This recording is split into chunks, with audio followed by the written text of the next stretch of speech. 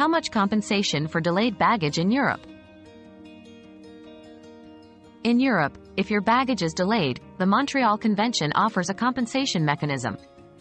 Airlines are liable for damages up to 1,131 special drawing rights, approximately 1,300 euros or 1,100 pounds. However, to claim compensation, you must report your delayed baggage to the airline within 21 days from the date the baggage was supposed to arrive. Ensure you keep receipts for any necessary purchases you've had to make due to the delay, as these can substantiate your claim.